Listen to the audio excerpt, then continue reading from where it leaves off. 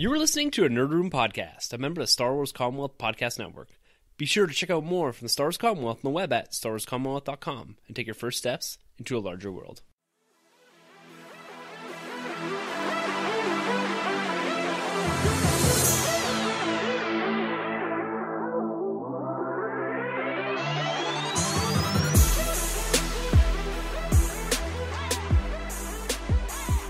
Hey everyone, and welcome to the Nerd Room, where we talk all things comics and movies. This is episode number 61, where we're discussing the Lego Batman movie and the Avengers Infinity War teaser spot. I'm your host, Tim. I'm Troy. I'm Sunjay. There it is. There it is. Yeah, you know, just came back from Lego Batman, and what an amazing film! I can't wait to talk about it. But before we begin, I just want to say welcome back, Troy. You know, we missed you last week. Yeah, it's good to be back, but you guys held it down, man. That's an awesome episode. So good Well, stuff. I wanted you back, but Tim was pushing against it. You know, he wanted it was creative differences. That's what I heard. So I'm glad you can come back, you know, and uh, be kind of that uh, vote breaker because we Yeah. had some ties yesterday or last week, and so it's good to good to have a definitive answer with Troy. That's right. I mean, the city's safe now. I was out there, you know, handling business. Yeah. Yeah. Yeah, so yeah. But this week, guys, we're going to discuss a lot about the Lego Batman movie and how exciting it was. We did go see it last night, Troy and I, on the IMAX theater. So I'm really excited to discuss that because it's a different take on a DC character, something that we haven't seen particularly a lot with the current universe as far as its lightheartedness. What do you and mean? Not taking itself too seriously. But we're going to get into all of that. But first, we're going to discuss a little bit about the Marvel Cinematic Universe. Marvel itself decided to shake the nerd world to its absolute core this week by releasing a production start video for Avengers Infinity War, effectively a teaser for a movie that comes out in a year and a half. And this is building on the other teasers that they have released in the past, stemming all the way back to, I believe it was either their uh, that at the El Capitan Theater where they released that first promo when they announced Avengers Infinity War Part 1 and Part 2. You can still find that on YouTube in cam versions.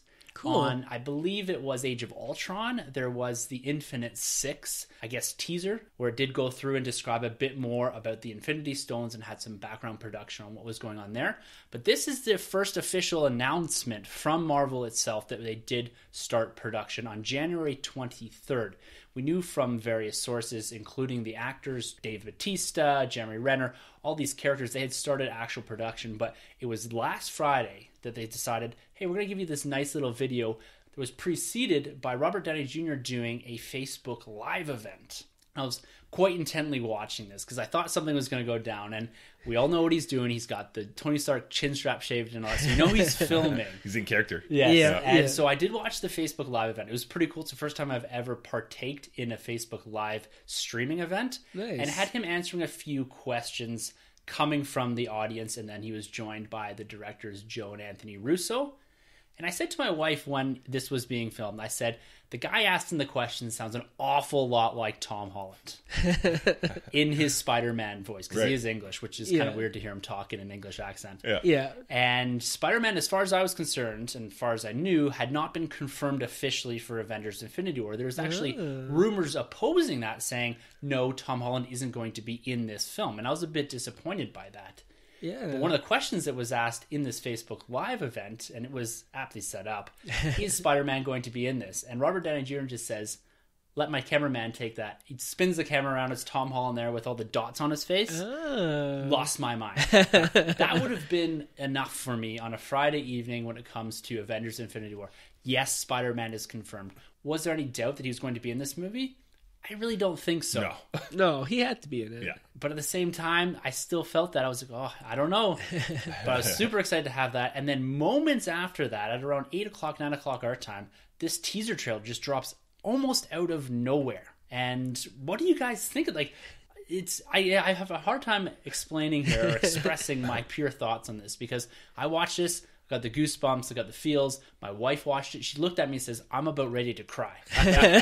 Just that swelling of emotion. Did you guys get the same experience from this? Yeah, on Marvel's part, well played. This is this is awesome, man. This is um this is actually what I wanted from uh, last year's celebration when Star Wars kind of did their own like behind the scenes trailer. Yeah. you remember back with the Rogue For One. Rogue One, yeah. exactly. I wasn't really on board with that, but this is so much better to me. This is this is awesome. It's very like um Blu-ray extra kind It's of good footage. Yeah. almost. Exactly. Yeah, it's so cool, and uh, and seeing Tom Holland, just how excited he is to be on board. It, it's really kind of like meta in a way because it's actually like Spider-Man joining the Avengers, being like amongst those heroes. He's Yeah. he's grown up, you know, admiring these heroes, and here's Tom Holland joining these guys.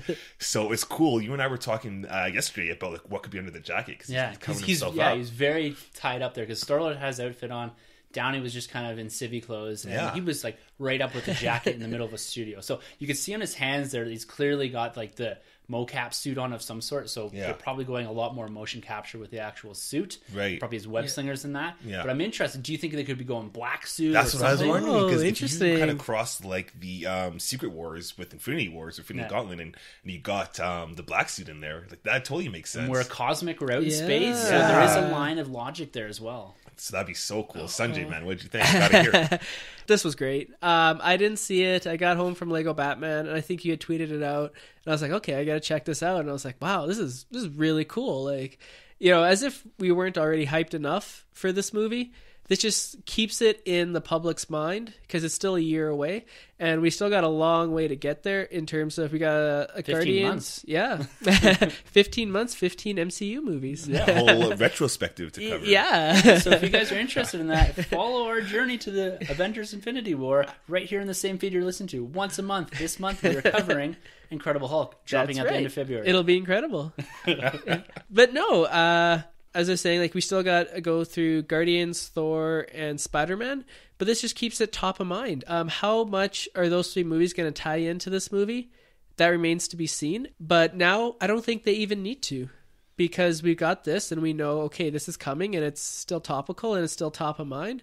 So if Guardians doesn't want to include Thanos in the film, they don't have to. They don't have to shoehorn him in. No, and I think the director James Gunn said explicitly that he's not going to be at least a focal point or even maybe make an appearance.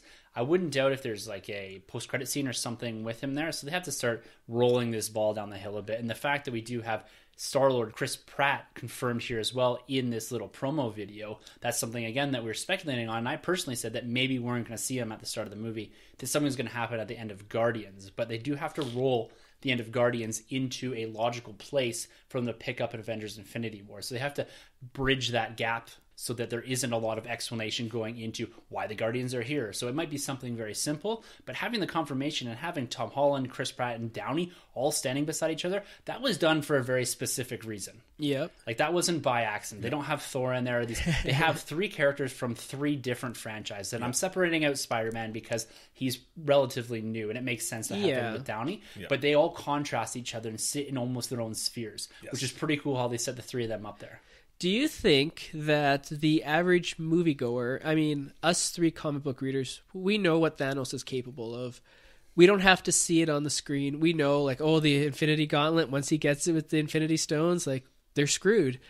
Do you think that the MCU has done a good enough job presenting Thanos as, you know, as he says in the teaser, uh, you know, the biggest, the baddest villain they've ever faced? But all we've seen him do so far is just sit on a chair. you know, um, do you think that they should have been at least one scene? Maybe there will be, but like a scene where he just goes to a planet, destroys it, grabs an Infinity Stone. I mean, if you're the average moviegoer and you don't read the comics, you may not understand just how powerful of a threat Thanos presents. I think that they'll probably get down that path really early on in, in Avengers Infinity War. I think because it's a somewhat two parter, they haven't announced the second part or name, they're going to spend a lot of time focusing on Thanos. Because Feige recently in an interview said that Thanos is really one of the main characters in the film, which is a bit different from what you get usually in superhero films, particularly Marvel films, where the hero is the focal point and that it contrasts a bit to what we see in DC where the villain does take some of the the spotlight there. Mm-hmm. So Thanos is also heavily featured in this promo. And again, I don't think that's an accident. We get two concept images of Thanos and Feige does spend a little bit of time explaining how much of a badass he is. So I think we're going to get that very early on here. Some of the concept art, one of the images here, we do have him assembling one of the Infinity Stones. It looks like potentially the Power Stone mm. into the Infinity Gauntlet here. And we even see him outside of his armor, which is a little different than Yeah. we're used to even in the comic books. You don't see this side of Thanos very much. So it looks like they're going to explore the character in a little more depth. At least that's what I'm reading into with this other concept image of Thanos without the helmet on, without his full suit of armor. So that's a little hmm. different than we're used to. Maybe that's a spoiler. That's maybe when Thanos becomes a farmer. I think Yeah. they did that after the comics. He does that. So after it's true. Farmer Stan Yeah, is pretty he- out of this world.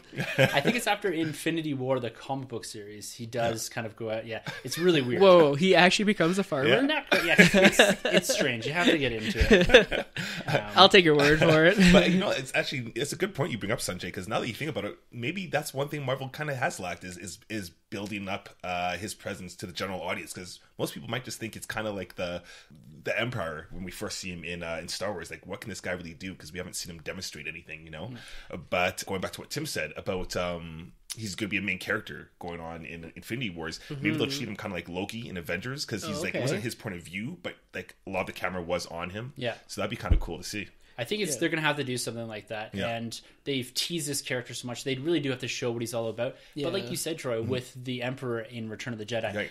we got what he was all about with a few throwaway scenes, Mm-hmm. and you never have an issue building up a villain with only having a few little cues, a few little demonstrations of what he can actually do. And I think that's all it's going to take. And it might be at the sacrifice of a Nova Corps or something Yeah. like Yeah. that, right? That we're going to have to see him coming after the individual Infinity Stone. So it depends on where the Soul Stone lands and what happens at the end of Guardians.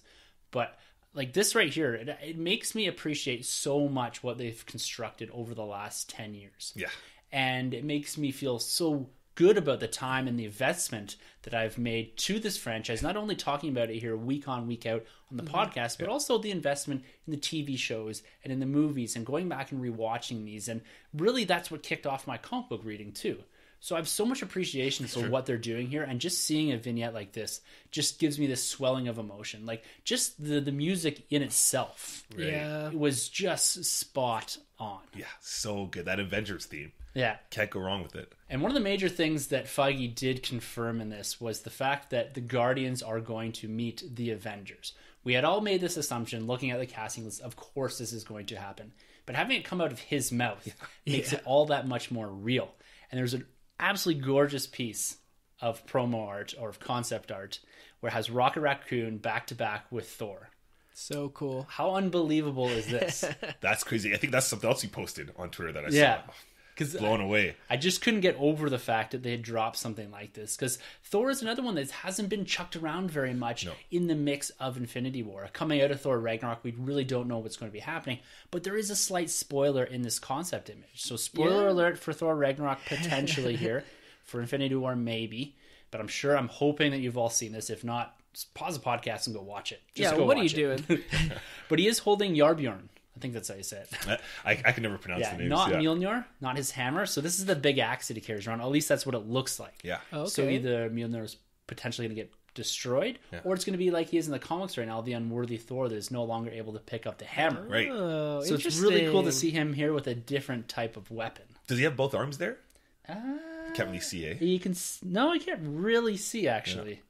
That's interesting. They're going to lop off his arm. Right. Wow. So kind of like uh, Star Wars, where Yeah, you could- Luke Skywalker loses one arm. Right, right. See? Mannequin even and goes way, way back. But how cool, right, to see Rocket and Thor Yeah. together, you know, out of this world, man. And so like, cool. would you have ever thought that that in 2013, when the Guardians dropped, just five years later, we're going to have them teaming up with the Avengers? Like, and I I know we've discussed this a lot on the podcast, and we speculated, and it's always felt kind of real, but now it just feels like it's going to happen.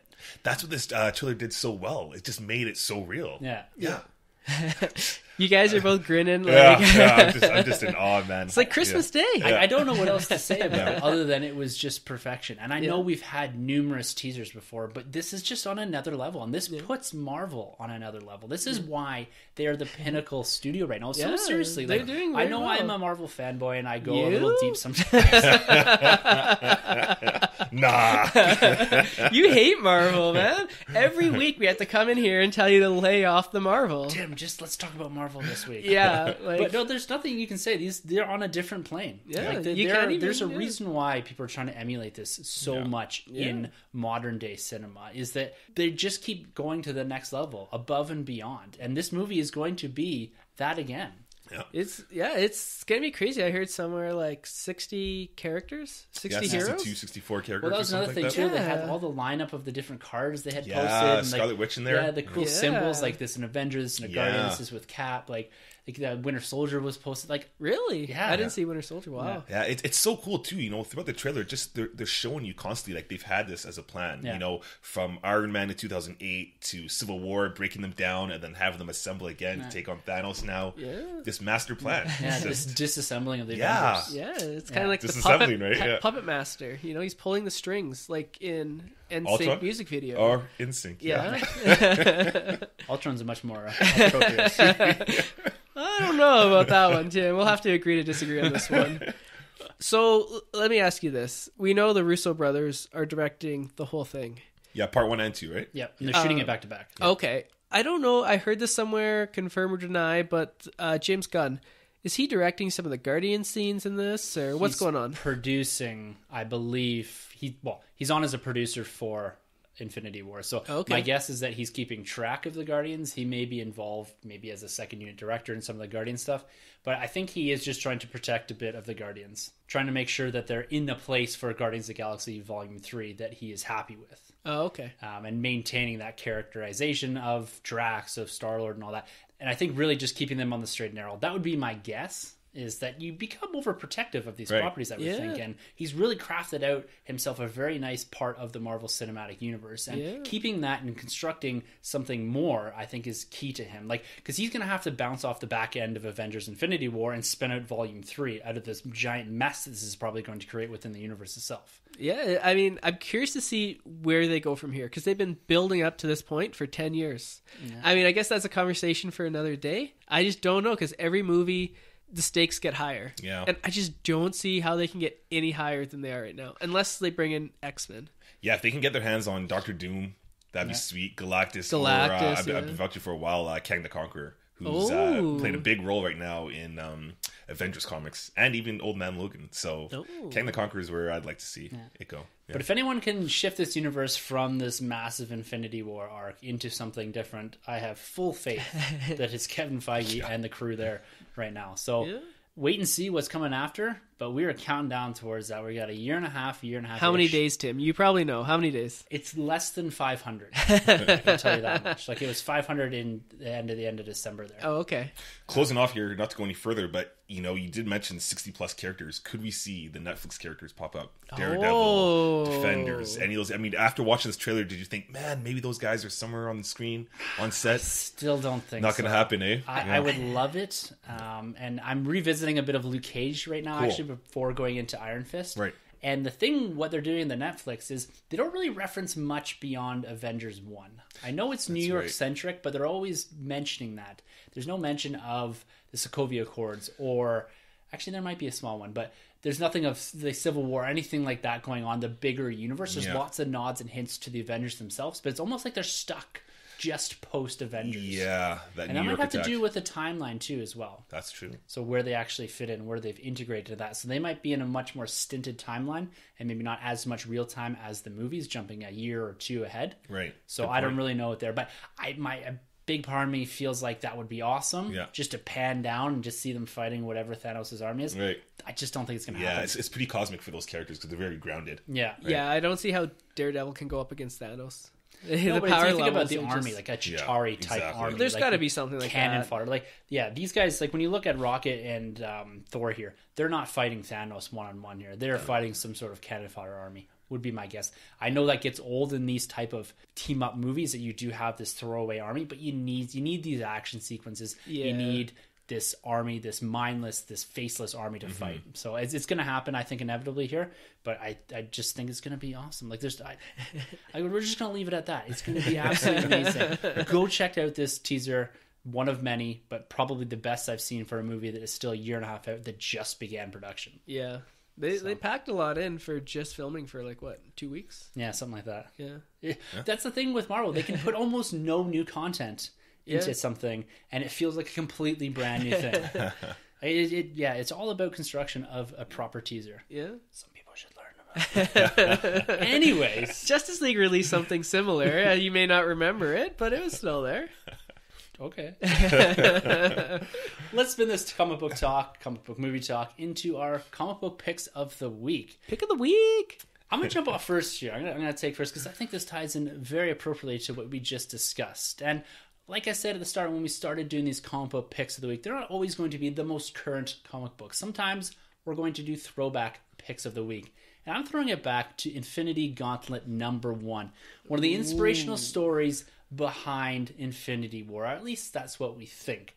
We did see the cover of Infinity Gauntlet number one in that promo, and I went back and reread that. I have the trade sitting right here. I would highly recommend going and getting this before going and seeing Infinity War. We're going to probably discuss this quite heavily down the road in the future, but I just want to highlight here a few things in this in this trade. This specifically issue number one. There's some really great scenes with Doctor Strange and Silver Surfer. We have Silver Surfer arriving on Earth with this ominous message of impending doom, and it's so well written and so well drawn. Absolutely love it. This is where we see Thanos getting the gauntlet and snapping out of existence half of the known universe. Just beautifully done. We do see him pursuing death to almost no end here to find the favor of her. He feels smited by her. It's just so well crafted in this one single issue. We even visit Spider Man, we visit Captain America, and seeing the disappearance of different heroes. It's one of my favorite stories by Jim Starlin, one of my favorite Thanos stories. And it's so appropriate to go back, you guys, and revisit this prior to even seeing Guardians of the Galaxy. I think I think it's nice to have this background in Thanos, this relationship to some of the books that are inspiring him. And like I said, we're going to go through that in a whole lot of detail down the road. But I want to just recommend Infinity Gauntlet number one, or even the whole trade itself. Just go out, grab it, read it, improve your understanding of Thanos through reading the comic books. Because the Russos are taking so much inspiration, I believe, at least I think, from the comic books here. They took a lot for Civil War. There's going to be nods, there's going to be hints, there's going to be Easter eggs to this book itself. Go out and grab that. That's my comic book pick of the week. a throwback, Infinity Gauntlet number one. Damn, that's yeah, a good choice. Yeah. Good luck trying to get the single issues because they probably just went up tenfold. I've got all of them. Oh, Okay, nice, I nice. bought them about four years ago. I have to still find mine. So my older brother used to collect comics back in the '90s, and in my parents' basement, he had his long box, and he took it to his house, but he had the full run in there, and I should have just stole it without him knowing. But uh, if they don't do a poster of the cover of Infinity Gauntlet number one, they're just missing out. oh, that's Yeah. that should be the steel book. yeah, you Yeah. got to fire your market guy yeah. if they don't do that. Or Uh, just a nod to it, yeah. an homage to it. this takes place obviously after Secret Wars, then. Yes, Yeah, I because Secret so. Wars was like the first big, uh, at Yeah. least a Marvel uh, big mega event. Yeah, I believe Right. so. I think yeah. it was because um, DC announced Crisis on Infinite Earths, and then Marvel beat him to the punch with uh, Civil War, Secret, War. Sorry, yeah. Yeah, which was like in eighties. I think it was eighty three, but don't quote me on that. Yeah, We'll just say 83. Yeah, it's in the eighties. So no this one was to fact come checks out on uh, the 84. internet. 84. Ah, and then this came out in uh, the 90s 92 Yeah. so just before marvel started uh, running into some turmoil pretty Yeah. much eh? Yeah. yeah interesting So and this has follow ups in uh, the Infinity Crusade and Infinity War. I can't remember the exact order of all of them. If this Oh, is the first one, I thought the first one was ninety one, but it doesn't matter. There's follow ups or preludes to this or whatever, but the whole Infinity series spans three different mini events. Awesome stuff All right, Sunjay, lay on us your comic book. all pick of the week. Any guesses? What is it gonna be? What? DC, DC. I'm gonna say Batman celebrating. Uh, yeah, actually, with my uh, Bane shirt on, uh, I went with a classic. Well, not a classic, a modern classic, we'll call it. nice All Star Batman number seven. oh i've yet to read it i got it at home. Okay, Nice. okay. So Let I won't hear it. spoil too much, All but right. it was amazing. So this is a Poison Ivy story. Yeah. So you don't get a lot of them. Like she's one of those like villains that's been around for a long time. She was in Batman and Robin. And I'm not going to spoil it, but there's one scene in this uh, comic that pays homage to the Batman and Robin movie. does it have to anything to do with the, the back card I wish okay you, you'll see it when you uh, when you read the panel. Just let me know. nice Uh, written by the great, in my opinion, the best Batman writer of all time, Scott Snyder. and who's it drawn by Uh, Tula Lotay. Oh, is it not John Romita Jr. anymore? No, no. So he Oh, left All Star in number five, Oh and man, then so he left at five. So he did the first arc of Two Face. Do you actually like his art? I love it. Yeah, was I- good. I, I lo- did you? It worked. Yeah, for, yeah, yeah. I really like his DC stuff. Yeah. I can't speak too much for his Marvel stuff because I haven't read it. Okay, But he did a super. Tim loves it. Yeah, he did a Superman run with Geoff Johns. Yeah. it was really good. Yeah, that that was pretty did cool. not Um, Yeah. like he did cap stuff. Yeah. It was the Yeah. Dimension Z stuff, which wasn't a good story, Hated it. anyways. But I just did not like the art. Just, Just, I uh, couldn't get into it. Jr. Jr. Yeah, he man. did some stuff in uh, AVX as well. Yeah. It was Okay. all right. Yeah. did Spider-Man for a bit too. It's, it's just Okay. so noticeable as art, and I don't find that. And I'm not saying that in a particularly good way. Mm-hmm. Like it sticks out to me. But shouldn't like I, I- I like that because then you know you get to like know the artist even if you don't particularly love it if it's your personal taste at least it's something different right like It's true. I'll give Yeah. you that. I can pick him out probably better than most. That's true. Yeah. I mean uh, there's so few artists that we can just like look at today in a today's day and age and be like oh that's a Perez or that's a John Romita Jr. or that's a uh, I'm trying to think a Greg Capullo is another Capullo's one awesome. yeah, Yeah. yeah there's, there's there's very few of them um but I really like this art um I apologize if I'm butchering um their name but Tula Lotay it was kind of like graffiti Oh. Yeah, okay. it's very cool, very different. Um, very cool story involving uh, Batman needing Poison Ivy's help, and then um, it continues from the last uh, issue, which uh, involved Mister Freeze. Yeah. and then it, fall, it flows nicely into the next issue, which involves the Mad Hatter. So he's going through Batman's Rogue Gallery, which uh, I think is the best of all time. It's it's it's fun. I love Mr. Freeze. He's one of my favorite DC villains. So Yeah. yeah. Uh, speaking of which, did you hear the rumor quickly? Arnold Schwarzenegger possibly in Wonder Woman. For what? That's the rumor. I don't know. Conan. Mr. Freeze. Mr. Olympia. So maybe he'll be Zeus. I don't know. But there's been some speculation, so don't be surprised. This is the sound of me smacking my head with my hand. All right, so we got one Marvel, one DC. Troy, break the tie. You're probably gonna go image or something just to screw us up. I'm always back and forth, but um, you know what? Today I'm going with um, Infamous Iron Man number four, but it's pretty much the whole series. This is yeah. Have you, have you been reading it? Yeah, it's so good. This is awesome. Um, the first issue or so is kind of whatever, I agree. and I'm, I'm really glad I chose to read this after Civil War Two, or else I would have been spoiled hard there. But um, it really picks up around issue three. Um, the art's grown on me. It's uh, Alex Maleev. Yeah. yeah. Uh, Michael Bendis is Oh, is okay, uh, the writer, but Michael Bendis, yeah. yeah, man, the, the, the, the, the armor is so cool. It's so Doom, but so Iron Man, and and I think this is really cool because you have the bad guy at the helm of the hero. He really wants to do good, and if you've been reading Iron Man before, Invincible Iron Man, you know that Doom's kind of taking a turn. I'm not going to spoil like the actual story, but some really cool things going on here. It does a better job than the Superior Iron Man run, when Iron Man was kind of bad. Yeah. it's on par, I think, with uh, your boy Cap being like the bad guy slash good guy Yeah. and Superior Spider-Man. It's on board with those those two comics right now. So it's really cool. I can't wait to uh, you know read more of these issues. You get to see uh, Thing make an appearance. You got some Shield going on. It's nice to see Thing in there because he's got that relationship with Doom too. Yes, and Doom remembers. Yeah. Okay. Some things going back to uh, Secret Wars. So uh, man, So what Iron Man is this? Is this Tony Stark or is this? no, this uh, is this is Doctor Doom's taking over. He's okay. taking over as well one of the other Iron Man because we still have Riri Williams. Riri Williams, Iron Man. yeah. Yeah, so again, I know going back to the Old Man Logan that I had to pick of the week before, I, I really like stories that continue the plot from Secret Wars because I feel like Marvel's lacked in fulfilling that eight month gap. So it's cool when they go back to a character like Doctor Doom still does remember things from uh, Secret Wars. So Doctor Doom was a big pivotal point in that whole Secret Wars 2015 event too. You don't have to tell me. I read it. No, I'm just kidding. I, I, I think I picked up like five issues, and then I was like, I don't know what's going on. yeah, It was a tough event to follow. did, did did the art work for you reading In- this uh, this comic? Yeah, I Infamous? like it actually. Yeah, Yeah, yeah, Um, it's a great comic book too. I fully agree with you. yeah, solid stuff. Yeah, it's uh, it's another one of these issues. Like I, I don't know what's going on. Like I express so much doubt, but there's so many good comic books right now in that world that Yeah. stuff. I, I mean, I know we talked about this last week. Uh, maybe quickly, Troy, we can get your opinion. Um, Marvel seems like they're having some issues with their comics, even though you guys seem to be loving what they're giving you week after week. Uh, are you in favor? Do you think they need a reboot, or do you think they should just status quo, or what do you think? I, I don't think they need to reboot.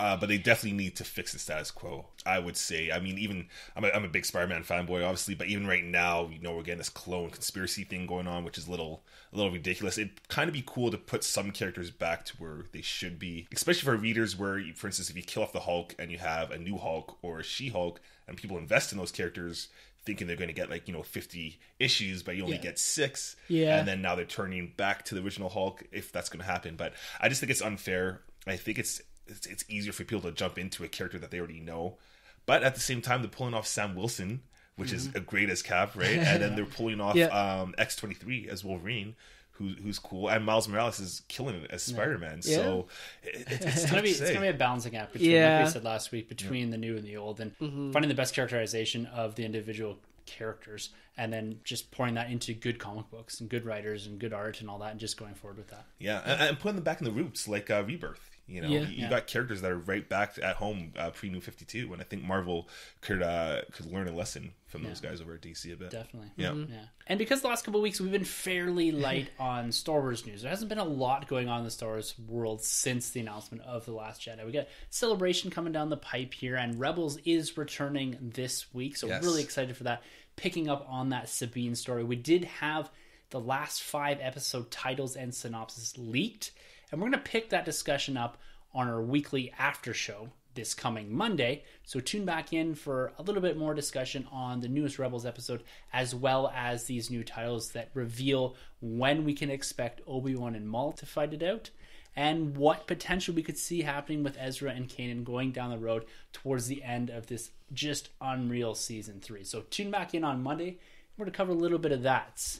But one thing coming out of the comic book world, they had the announcement of the Screaming Citadel number one, this new crossover event that we're going to see with the two ongoing books right now, Star Wars and Dr. Aphra.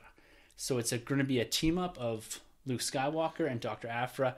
And I'm not going to go too much into the details here, but it looks like it's going to be quite a bit of fun. To have crossing over of two characters, one that is brand new from the comic book universe, and one of our oldest established characters. So I'm really looking forward to this. We're going to have this Screaming Citadel number one. It drops in May, I believe, and then it's going to be continued on in both of the ongoings for two issues, similar to the Vader Down series. Nice. So it's not going to be too much as far as buying a ton of comic books and having all the tie-ins, but I think it's going to be another great event similar to this Vader Down series. So I'm looking forward to crossing over here. I got a lot of catching up to do. I've yet to start reading this Yoda story, which Yeah. is four or five issues long. Yeah, I'm, I'm all caught up with that one. 27 and 28. Yeah. Yeah, And so it looks like this will start in Star Wars issue number 31. cool. So a little bit ways down the road, but I just want to throw that out there, and that's something that we'll be keeping a close eye in here. I just started reading the Doctor Aphra series. Great series. Is it good? Yeah, see, I haven't been keeping up with Yeah. that one. I really liked her before when she crossed over with Star Wars and with Vader. Yeah. So that'll be cool to continue. I'm calling it right now. Dr. Aphra is Rey's mom. Okay. Joking. Um, no, I'm completely joking. if you couldn't tell. No. Anyways. I couldn't tell. yeah, I know. Uh, I have I have some Star Wars news.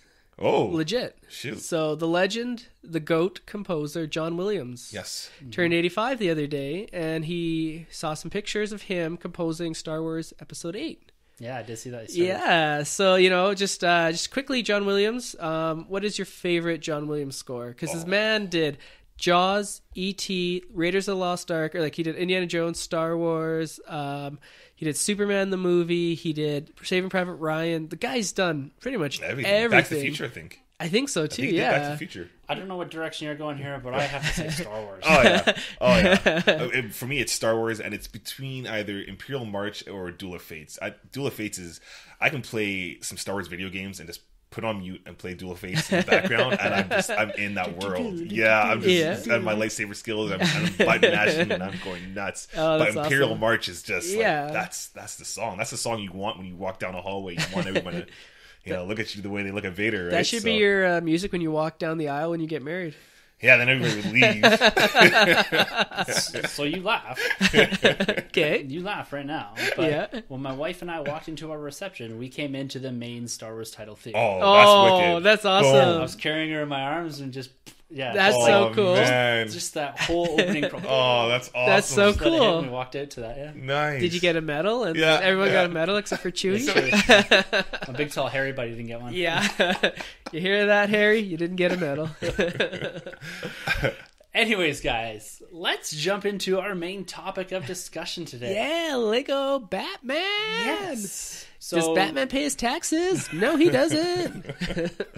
This movie had a great opening weekend, well below though my initial prediction of 100 million. So that was a bit of a wild ass prediction. I think the In competition played a big part in that. yeah, though. John Wick, John Wick and uh, Fifty Shades. Fifty Shades Darker Yeah. combined seventy five million for movies two and three, which is very rare. Yeah. And Split's still doing a, a hell of a job. Yeah, in- and Yeah. especially this time of year too. So this pulled in 55 plus million dollars. Not bad, not little bit of bad. change, but that's that's pretty good Yeah. for Yeah. this type of family movie, especially in February here. And like you're saying, I didn't realize the competition until I looked at the box office on Saturday. I, I think we're gonna have to readjust our expectations for 2017 Oh, because yeah. it's not a common year, and I think Lego Batman is already showing that because we were predicting 80 to 100 million, and 55 million. You know, it's not bad. It's only an 80 million dollar budget, so it's for sure going to make a ton of money in merchandising alone and at the box office.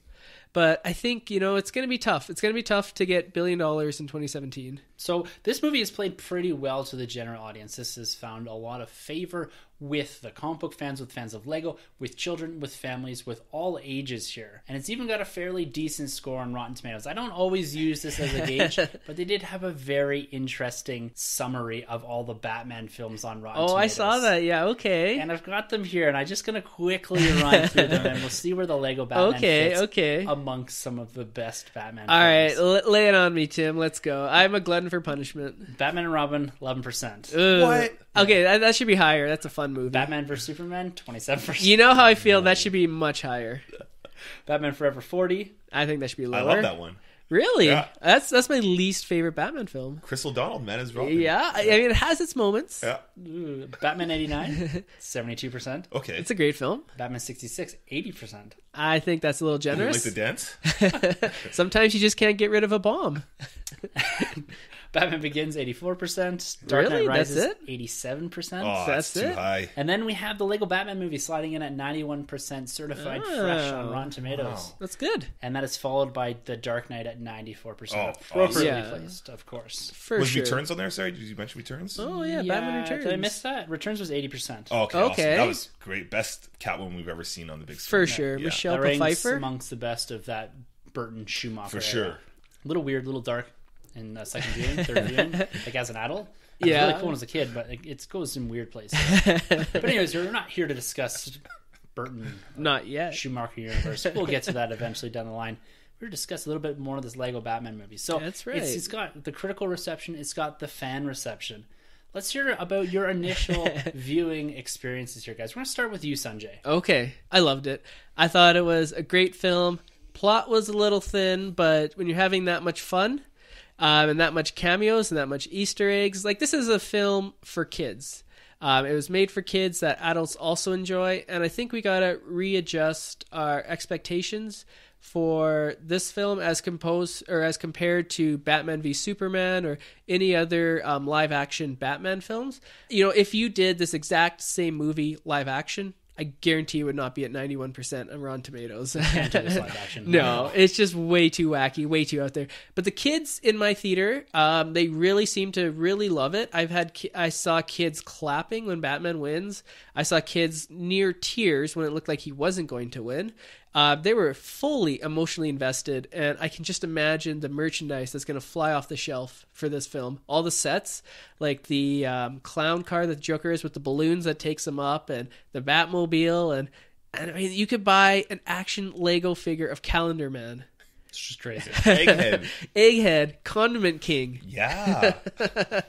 Who would have thought? Okay, is that a real villain? Conor? Yeah. Yeah, Oh, yeah, Condiment yeah. King. Yeah, yeah. All those characters they mentioned. they must have been like from the '60s or '70s when Batman was like way out there. Yeah. I know Egghead was because when they went through the whole roster, I was like, "Oh my Yeah. god, if they drop Egghead, I'm going to lose." it. And they, when she got there, and I was Yeah. like, wow. Oh yeah, and Who then egged the bat signal? yeah, King Tut too. King Tut. Yeah, he's in the uh, animated series. I Yeah, he's- think. he's, also in '66 as well. Oh yeah, yeah. This was like a love letter to Batman. Very cynical love letter. it was saying like it was like um You know, it showed everything from Batman. I was reading or I was listening to an interview with the director. Uh, he also did a bunch of uh, Robot Chicken episodes, and That you could makes a lot probably yeah, yeah. Um, and he said they went back to issue one or Detective Comics twenty seven, and then they went all the way forward, and they tried to get in as much Easter eggs and as much. Um, you know cameos as they possibly could and it, you know this is going to be a great film to get on steelbook and just like pause frame by frame to see everything you can see in the background I think that's one of the things that I struggled a bit with was because there's so many cameos and so many jokes. Like I really did enjoy that, and I found myself laughing at a lot of them. Yeah. But there's so much stuff in that sometimes I felt it was layered so heavily that I wasn't done laughing at one joke when another joke dropped, and I'm thinking I just missed that, and I'm trying to think of what like what happens, how trying to reframe and recontextualize the joke, and Yeah. so I found myself lost a bit. And I Yeah. found that even with the detail in the background, like coming down to the CGI, there's so much detail there that I found myself almost overwhelmed on the screen. like I'm trying to take in so much. Yeah. I think overstimulation is a great way to put it, and I think, like you said, it's going to really benefit from sitting and watching it again and again on TV, on Netflix or whatever, just to appreciate the amount of detail that they've actually put into this film. yeah So, Troy, what'd you think? We saw it on IMAX last night. Yeah, yeah. Actually, going back to what you just said, I, I was prepared for that a little bit because the Lego Movie did the same thing to me. There's Absolutely. so many layered jokes. I was like, whoa. So I was trying to like buckle down and really pay attention to as much as I could, but you know, there's so many things that uh, went right over my head. Um, Tim, because you're such a Lego guy, you must have noticed like all the detail. Like when the flames are going, you can see the little like flames. I was like, Yeah. that's, that's pretty cool. I think the movie started off really strong. Like I was dying. I, I think all three of us were Yeah. dying at the beginning. It was Yeah. it was crazy. Um, the effects were great. The voice acting was pretty cool. I, I'm a big Robin guy. I Dick Grayson guy. He's, he's my favorite. But I, I didn't like how they handled uh, Robin in the movie necessarily. Uh, Zach Galifianakis as Joker didn't really do it for me either. I it's kind of hit or miss with me. Again, at the beginning, he was great. Towards Yeah. the end, I was like, uh, I don't know if this Joker works for me. Yeah. Uh, the cameos were great. All the callbacks to all the old school Batman stuff it was hilarious. It was it was good. But like Sunjay said here, uh, the plot was a little little thin for me. I, I think even the Lego Movie did a better job with their with their plot. But man, yeah, there was some cool stuff. The Batcave scenes were just incredible, and we you know we even get to see um, Jerry Maguire in the in this Yeah. movie, which was just crazy, crazy. I gotta ask you because you're the big Robin guy. Yeah. How hard did you fangirl when he wore the Nightwing suit, and when they mentioned Blüdhaven? That was awesome. Yeah. that that was great, and I really like the joke they pulled where he's trying to get uh, adopted by Batman and he's explaining his name. You know, I'm Richard Grayson. Oh, my yeah. friends call me Dick.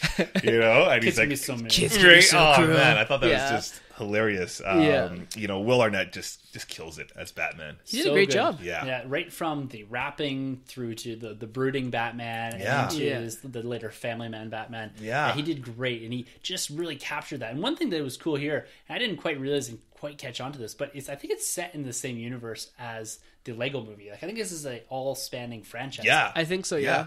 And, and one cool thing too is that I almost felt like it was at first it was really attached to the Tim Burton verse. I really felt like, oh shoot, is this the same Batman almost? Because they were pulling from a lot of those things, especially like the comments he makes to Joker and Yeah. the costume itself. the you know, Prince reference. Prince yeah, reference oh. Billy Dee Williams Oh, was Two he Face. was Two-Face, They right? corrected So- that wrong. Yeah, yeah. So I thought that was so funny, but then obviously it goes a little back and it shows like the BVS and it shows the Adam West and all that stuff. They in didn't there. spend too much time parroting the more recent stuff. They did some nodding towards and some parroting of the Dark Knight, in particular Bane's voice, Yeah. and the brooding scenes and that. But they spent a lot of time, like you said, focusing in on particularly the Burton verse, Yeah, Yeah. and then throwbacks to the old '66 Batman as well. Yeah. And I know Tim and I chuckled a lot when they kind of called out Suicide Squad, Yeah. where um, Killer good. Croc pressed the button. He's like, I did something. And I was like, whoa, they Yeah. really went there? Was- that was funny. That was funny. Yeah. I liked it. It was an equal opportunist film. It seemed like it poked fun at everything yes. and Iron everyone. Man. Iron Man sucks. that was fantastic. I agree with that. um, getting back to the plot here a little bit, I agree with you guys. The start was the strongest part of the movie. I felt this engaged me fully. I loved the references, even though they were so rapid. And this, I think, was the best Joker. This was the best Batman. And this is the only part I really have the issue is I did feel it low. I felt myself checking my watch about halfway through, thinking to myself, "Man, are they going to get to the final action sequence here? Yeah. I need Yeah. a little bit more something." And this whole plot device of him focusing on how he's lonely, how he has no family, and refusing to work with anyone. Do you think they played too much into that? Because I felt personally, I was like, okay, I get it. You're lonely. I get it. You don't have a family. I get it. You're yearning for something more, but you won't let that come in because you have these demons when it comes to your parents being killed. I thought that was a lot, and that that kind of pulled the movie down a bit for me. Okay, yeah. You know, I think they kind of did a good job. Like I, I thought um, they did a good job because they kind of like layered it with other stuff. So like they would just have one scene where Batman's like, "Oh, I can't have like a family," you know, and then like, okay, well, I got to go get the Phantom Zone projector from Superman. And then I was like so busy, like distracted, because like, oh my god, the Justice League's in it, and they have the Right. Wonder Twins, and they have the Flash and Aquaman, and it was so scene. cool. Yeah. Yeah. And then when he goes up to the uh, Fortress of Solitude and he presses the doorbell and it's the John Williams Superman the movie Yes. score, I cried. Uh, I'm gonna man up and say I cried. um, I dug it because I kind of think like they kind of layered it where it was just like nodding at it here and then ten jokes, and then they'll nod at it here and then another cameo and 500 Easter eggs. Yeah. So I think you know they did a good job, kind of not harping on it too much, but they definitely did bring it up quite often. Yeah. Um, that was definitely like the crux because that's kind of the crux of Batman. Yeah, it's Yeah. the main plot point, and they're really trying to focus in on that, and I and I get it, but it was just it seemed like a little much. Yeah, they beat us over the head a little bit. Yeah. I felt with it. And you're talking about Superman here, and they, they really quite heavily focus in on the Donner universe, the Donner version of Yeah. Superman, right down to the Fortress of Solitude, the appearance and the likeness of Zod, Yes. and then Jor So El as well, cool. all from that Donner universe, and the inclusion of Justice League. I thought there was going to be more inclusion of Justice League, but I Yeah. loved what they did there. I thought it was absolutely hilarious. They're having what the 78th anniversary, which is a nice nod to. DC and its 78th anniversary and all that. Yeah. It was really cool to see all those characters. I didn't know who all of them were. uh, specifically, you said the Wonder Twins. That's uh, Super Friends from yeah. like the 60s. And who's the dog? Krypto. Yeah, Krypto. yeah. The Wonder Superman's Dog, Yeah, yeah. CJ, yeah, yeah. I, I think there. he was in Smallville, wasn't he? I think so. I can't remember. think so, yeah. Yeah. Cyborg. There's a bunch of uh, Yeah. Green Lantern. Yeah, so I heard um, that the sequel for this will be a Lego Justice League movie. That would make sense. They did that with the video game too, so that would make a lot of sense. That'd if, be uh, cool, yeah. if they did that. That Yeah. seems to be what is the next logical step in this because we did see that Ninjenjo or Ninjo or whatever it is. Yeah, what do you guys think of that Yeah. preview? It it's looked fine. Like I know, like it, it kind of again, it's stepping a bit further outside of what I know in Lego. Like I've never collected that, never really looked at that. So Yeah. it's probably gonna have a similar type presentation in as far as the comedy and all that. And I can appreciate that. And it was funny. It was getting laughs out of Yeah. me. At Yeah. the, at the intro there, but Yeah. I didn't even know that was coming. It No, kind of just a Yeah, out I, I heard about it a little while ago, but kind of forgot about it. But I think with Lego, it'd be cool to see uh, the pirates or like the Robin Hood. I, I, 'cause That's what got me Yeah. to Lego. Where those, pirates. those, yeah. Okay, so I think yeah. it'd be cool to see a pirate Lego or a Lego Robin Hood. Yeah. Yeah. cool. yeah. What did you think of Joker and his ultimate plan here to kind of trick Batman into sending him into the Phantom Zone? I liked it. I liked it, especially you, you see the gears going in Joker when Batman breaks off that relationship. That- That oh, was so epic. How they played that was so well It was crazy, and, and the crowd just went silent. Like I wanted to laugh. I'm like, oh, maybe it's not cool if I laugh at this point because you know it's hitting hard right now. Yeah. I didn't know if they're going to commit to this because I expected fully at that one point where they're kind of almost holding hands and Yeah. he's kind of welling up. I was like, he's going to turn around and laugh and shoot him or something. Yeah. And then they fully commit to this whole relationship and Oh, relationship yeah. thing. And, you know, I'm, I'm seeing other people or I'm, I'm beating up other people. Or whatever Yeah. It says. And I love the reference to Superman becoming maybe it's Superman, maybe it's Bane. I Bane, don't know. yeah, Yeah. that was great. yeah, that was amazing. Superman, he's not even a villain. That's a good guy. yeah.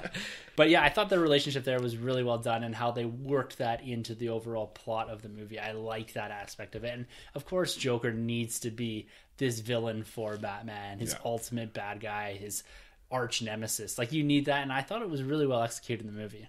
That was one of the strong points for me. Yeah. Yeah, no, I loved it. Um, and I loved um, how he took the villains from all around the universe. See, did you? I didn't like I love that because Yeah. as a kid growing up, that's how you play action figures. You don't just separate your Marvels and your Star Wars and your DC.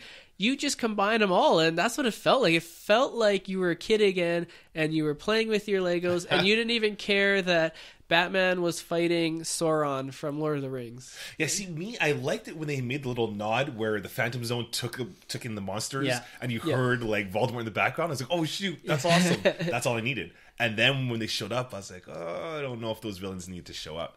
I, I it's interesting you put it that way because I didn't really think about that. That kind of kid bashing your action figures and your dinosaurs and all that, and making them fight each other. But I think I have to agree with you there, Troy. That I like the nodding to the Yeah. fact that you have this wider universe, and the Phantasm does contain this Mm-hmm. ultimate villains, and Right. it kind of remind me of uh, I think it's Villains Pub. Oh um, yeah, from, YouTube. yeah. uh, how it should have ended. How it should end. That's, Yeah. it's Oh, right, so good, and that Yeah. really Yeah. reminded me of that. And I was like, oh, maybe they're nodding towards that. Yeah. But I think what I would have appreciated a bit more from that whole Phantom Zone scene is is seeing those, making those nice references and nods, but almost transporting the opening sequence into the end sequence where Batman and you're seeing all these nods to Egghead and all this, and the opening sequence was maybe just the Joker and a few other of the Rogues Gallery. Oh, okay. But having the Rogues Gallery be that main fight at the end, Yeah. I, and I know you're looking for this like massive impending doom. We have King Kong and, and the villains from Star Trek and the villains from um, the robots, the British robots. I can't remember what it's from. Doctor Who. Doctor Who. Thank you. Oh, okay, you just yeah, lost yeah. a whole bunch of British viewers to yeah, the Brits are gonna kill me. um, They're British robots. Ask your nerd friends. but I think I would have liked it to stay within the DC universe a bit more. It's not to say that I didn't like what they did, but I felt myself so engaged with that first part, that first scene with all the Rogues Gallery and trying to Yeah. pick out the 66 villains and the animated villains and Mr. Yeah. Freeze and all that. I think they need to spend a bit more time with that Rogues Gallery. I think I would have liked that a bit more. Yeah. H- How about the music? Music hit anybody like the Lego Movie or, or what? Well, What'd that like think? that fun, his like rap and all the, the Yeah, the, Yeah. the metal and all that. What would you guys think about uh, Robin's theme song, all that stuff. Yeah. I liked it, but there was no uh, "Everything's Awesome." I was yeah. waiting for like that one like earworm song that would just stick in my head all yeah. day. Yeah, you know. But I, I did like like the uh, Batman rap and the uh, like the na na na na na na na. Oh, okay. Yeah, yeah, yeah the throwback. So, but yeah, I think uh, the Lego Movie, like the first one, had better music. Yeah, yeah. What do you think? I, I didn't really like it that much. They they had something going in the first scene. They they had like this this best friend kind of trend going on. I thought it was hilarious. They kept mentioning this best friend thing. I was like, oh, this is really funny, and they went away from it. I thought that's gonna be their new everything's awesome. But Yeah. I guess is I just heard something else. yeah, the the music didn't really do it for me though. Yeah. and Barbara Gordon. Ah. There was different, slightly different take than I'm used to for Barbara Yeah. Gordon. Her Yeah. taking up the commissionership, and you see Batman kind of ogling over her, and Yeah, so I, I like the relationship there, and I like that she played this like really empowered female. Yeah. What, what do you think of the take on Barbara Gordon that eventually turns into Batgirl, Batwoman? How'd you like it if I called you Batboy? Yeah. yeah, that was good. That was good. There is a Batwoman. Uh, her Yeah. number one issue comes out on Wednesday. Sandra so- Kane. Yeah. So check that out. Um, I liked it. I thought it was good. Um, I'm just gonna point out something that uh, writer Gail Simone said. You know, and uh, she's a great female comic book writer, and she writes great female comic book characters and great male comic book characters. But she said, you know, she wasn't too thrilled with this um, trend of not having funny female characters. And I, I didn't even think of that. And I was like, yeah, she's right. Like.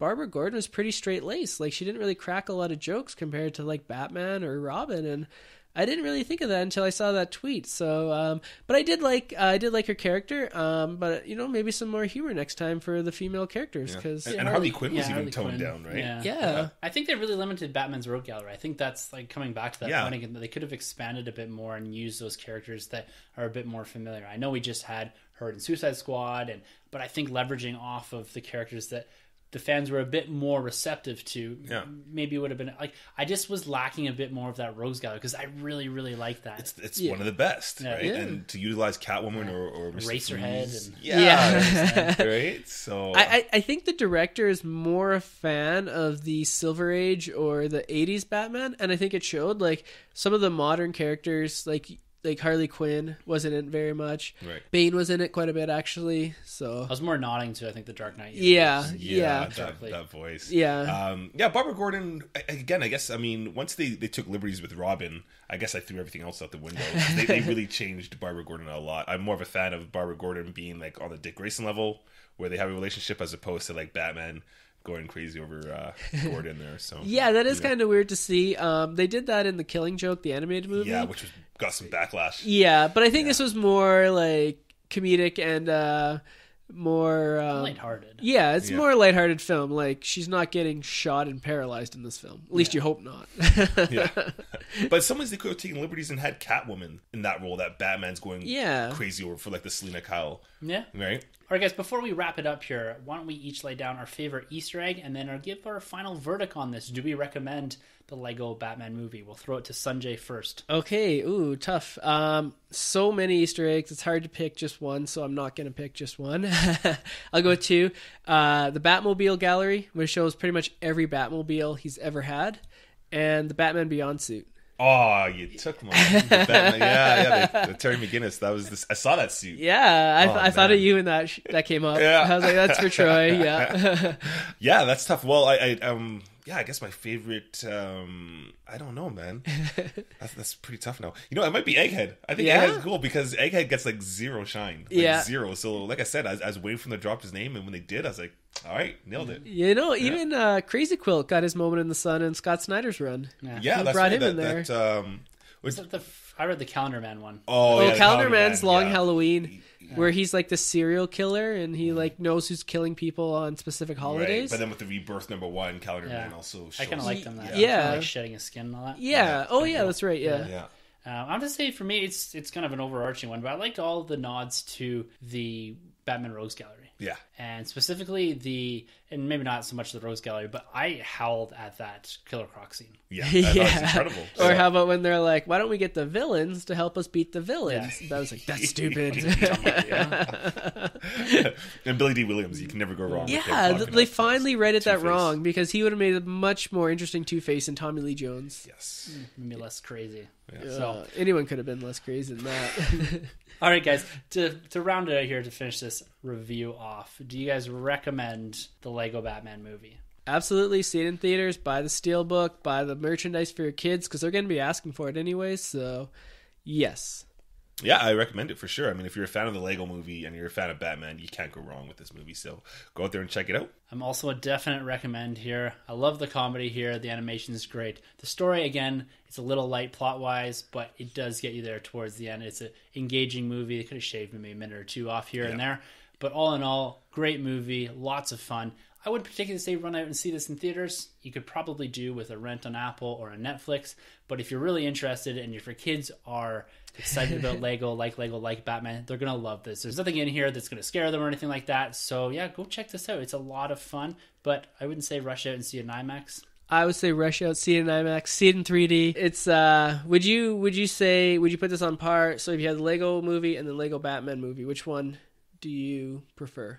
Lego movie for sure. I think Lego movie is- Yeah. incredible. Yeah. Okay, I'm gonna go Lego Batman just because of the more the nods to the DC universe. course, yeah. But I feel like the Lego movie was a better movie overall. But I would love if Marvel or Star Wars did something like this. I know. I don't think they will because Warner Brothers owns Lego. Yeah. But Star Wars characters showed up in the Lego movie. That's Remember right, We saw yeah. them show The up for two Millennium seconds. Falcon, yeah. Yeah. And the Marvel maybe not, but I would love for them to do something similar where you're nodding to the universe and nodding to the comic books and the missteps and the things that they did well. Like I, I would absolutely love that as a big Marvel fan, For as sure. a big Star Wars fan. Like I know they do have these on the Cartoon Network or whatever, and Yeah. they do Yeah. parody a lot of things. And they point out a lot of the, the plot holes and the gaps here and there, Mm-hmm. and that's a lot of fun. I really enjoy that almost cynicism to a degree Mm-hmm. and kind of parroting what they've done in the past. Like that's the best parts of this movie. Yeah. And I think that's where it really shines. Well, you may be in luck, Tim, because the brilliant writers and producers behind such hits as Disaster Movie, Epic Movie, and Superhero Movie are making a spoof on Star Wars.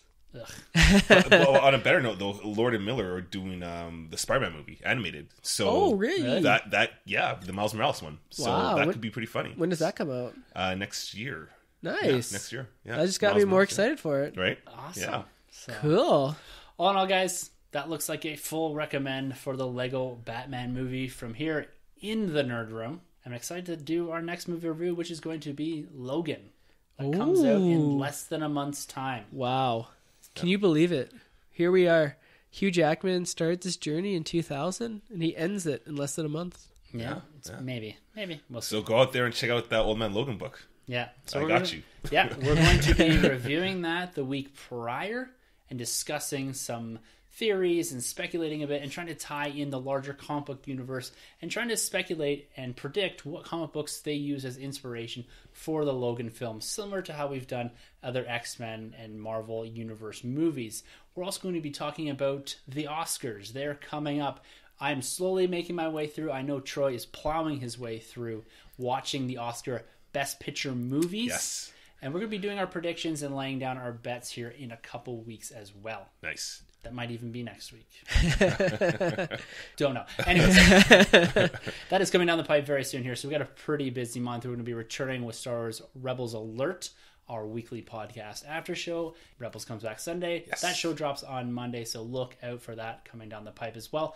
And on February 28th, we will be dropping our second issue of our Marvel MCU retrospective series where we'll be discussing Incredible Hulk. So make sure to tune back in on the feed you're listening to right now for that at the end of February. Sweet. Yeah, lots in store. And then, you know, we got to give it up to the Star Wars Commonwealth podcast because those guys are killing it over there too. So lots and lots of content coming your way. Yeah, and watch out for the Stars Podcast Awards. They should be dropping the finalists for nominations. So we'll be going back into another round of voting, hopefully, here for, at a minimum, the Stars Commonwealth for Best Podcast Network. That voting did close last Thursday. And we thank you guys who went out and supported the Commonwealth and supported us as well and voting for the Stars Podcast Awards. We have a lot more Stars content coming down in the next few weeks here. We've got a busy month in February, but as we move into March, and that will be picking up again with the impending Thrawn book coming down, as well as Empire's End dropping here in a week or less. Oh, yeah. Is, is it running late? Was it meant to be February? I thought it It's was always meant to be. February. Oh, okay, my I bad. think maybe I may have said Okay. January at one point in the podcast, Okay. not being right. And then we have Basin Shuret on May second. We got the Calgary Comic and Entertainment Expo coming up. Celebration. There's a lot happening in the nerd world, crunching here for the next couple of months. So make sure you keep it locked here on the Nerd Room for all your nerd news. You can always grab us at hashtag enter the nerd room on Twitter. Our handles are at the end of the episode. You can email us with your questions, comments, speculation. What did you think of the Lego Batman movie? Let us know. Email us at thenerdrm at gmail.com or hit us up on our Facebook or YouTube pages. Just search the Nerd Room Podcast. All right, guys, until next week for the Nerd Room, I'm Tim. I'm Troy. And I'm Sunjay. And thank you for entering the Nerd Room. This has been a Nerd Room podcast production. You can find our hosts Tim and Troy on Twitter at the NerdRM and Troy the Boy 87. Don't forget to subscribe to the Nerd Room on iTunes, Facebook, and YouTube. Just search the Nerd Room podcast. Be sure to head over to StarWarsCommonwealth.com to find other podcasts on the Star Wars Commonwealth Podcast Network, including Talk Star Wars, Generation X-Wing, Tumbling Saber, Rogue Squadron Podcast, and the Skyhopper Podcast. Follow the Star Wars Commonwealth on Twitter at SW Commonwealth and take your first steps into a larger world.